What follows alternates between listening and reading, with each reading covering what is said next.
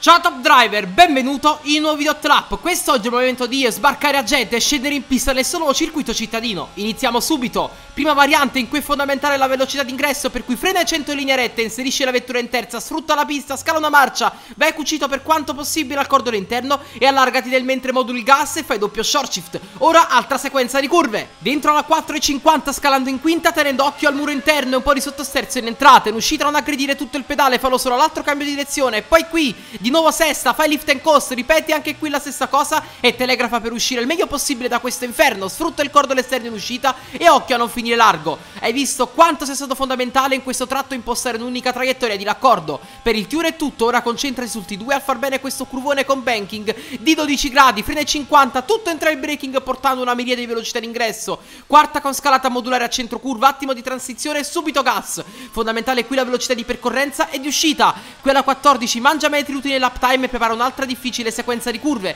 Da un pelo di freno ai 50, occhio che il cartello non è facilmente individuabile. Quinta e aggancia il prima possibile la vettura con il gas, dato che segue una lunghissima zona di RS. Qui il serpentone effettua sempre traiettorie volte a perdere meno velocità possibile e risparmiare metri importanti per il uptime. Qui si chiude anche il T2, ma ora eccoci a curva 22-23 in cui freni ai 50, tra il braking e inserisci subito la vettura in quinta. Dai gas presto e punta il cordolo interno al cambio di direzione per la seconda zona di RS di questo circuito. Preparate adesso l'ultima staccata, intensa, la 27 in cui è importantissima l'uscita. Frena ai 100, dentro entra il braking in terza, evita come la peste il cordone interno, short shift e aggancia la vettura con il gas per chiudere al meglio questo giro a Jeddah.